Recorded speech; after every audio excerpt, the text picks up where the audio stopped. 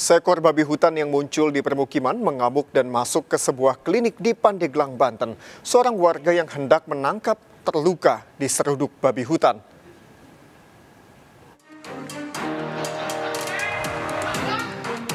Kemunculan seekor babi hutan mengejutkan warga di sekitar Jalan Raya Labuan Pandeglang, Tegalwangi, Kecamatan Menes, Pandeglang, Banten.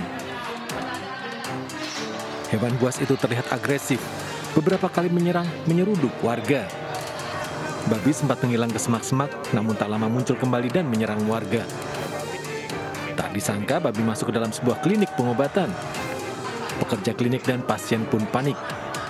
Seorang warga menjadi korban diseruduk babi hutan hingga luka-luka. Udah gitu, saya ngeliat ke belakang, Hmm. rupanya dia ngumpet tuh di semak-semak. Ya, terus setelah itu? Udah gitu, saya ikut, akhirnya ikut ngejaga gitu ya, ikut Hmm. apa? ikut ngeliat. Cuma begitu udah nyeruduk dia, saya kan ngeliat dia tuh ngejengkang, jadi saya kaget. Fokus kamera. Udah gitu, Fokus kamera. dia mah muter, muter lagi tuh yang namanya si babi hutan tuh muter ke saya. Warga kemudian mengepung dan membunuh babi hutan tersebut karena khawatir membahayakan warga lain. Warga mengaku heran babi hutan bisa tiba-tiba muncul. Tidak ada warga yang memelihara babi, bahkan tidak ada hutan di sekitar permukiman yang dapat menjadi tempat tinggal babi hutan. Dari Pandeglang, Banten, Iskandar Nasution, N-News, melaporkan.